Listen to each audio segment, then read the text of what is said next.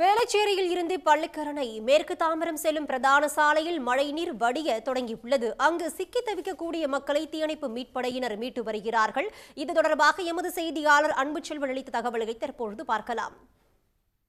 மழை வெள்ளம் தொடர்ந்து வடிந்து கொண்டிருக்கக்கூடிய நிலையில் தாழ்வான பகுதிகளில் மழைநீர் இன்னும் தேங்கி இருக்கிறது அதே போல அங்கு சிக்கியிருக்கக்கூடிய மக்களை மீட்பதற்காக பல்வேறு மாவட்டங்களிலிருந்து தீயணைப்பு வாகனங்கள் வீரர்கள் வந்திருக்கிறார்கள். தற்போது கூட வேளச்சேரி பிரதான சாலை அதாவது பள்ளிக்கரணை சாலை முழுவதுமாக மழை வெள்ளம் நேற்று அதிக அளவில் சூழ்ந்திருந்தது.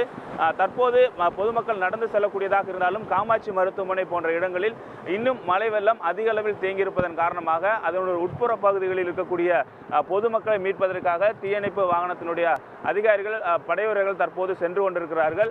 குறிப்பாக ராம்நகர் குபேரநகர் உள்ளிட்ட தாழ்வான பகுதிகளில் மழைநீர் என்பது இன்னும் தேங்கியிருக்கிறது. அந்த பகுதியில் இருக்கக்கூடிய பொதுமக்களை மீட்பதற்கும் மற்றும் மழைநீரை அந்த பகுதியிலிருந்து அகற்றுவதற்கான பணிகளுக்காக ஜேசிபி இயந்திரம் அதே போல் தீயணைப்பு மீட்பு படையினரே இந்த பகுதி வேலைச்சேரிக்கு நாம் பார்க்கும் பொழுது ஒரு ஐந்து வாகனங்களில் ஒரு ஐம்பதுக்கும் மேற்பட்ட வீரர்கள் தற்போது உள் பகுதிகளுக்கு செ- கொண்டு கொண்டு சென்று சென்று கொண்டு இருக்கிறார்கள் ஒரு சில இடங்களில் மழைநீர் வடிந்து இருக்கிறது இன்னும் தாழ்வாக இருக்கக்கூடிய பகுதிகளில் மழைநீர் வடியாமல் இருக்கக்கூடிய சூழ்நிலையில் ஜேசிபி இயந்திரம் மூலமாக தண்ணீரை வெளியேற்றுவதற்கான முயற்சியை மேற்கொண்டிருக்கிறார்கள். அதே போன்றுதான் உட்புற பகுதிகளுக்கு சென்று சிக்கியிருக்கக்கூடிய மக்களை மீட்பதற்கான பணிகள் துரிதப்படுத்தப்பட்டு கொண்டிருக்கின்றன. மற்ற புறங்களில் அதாவது இந்த வேலைச்சேரி பள்ளிக்கரணை காமாட்சி மருத்துவமனை உள்ளிட்ட இந்த தாழ்வான பகுதிகளில் மட்டுமே அதிக அளவில் மழைநீர் தேங்கியிருப்பதையும் பார்க்க முடிகிறது.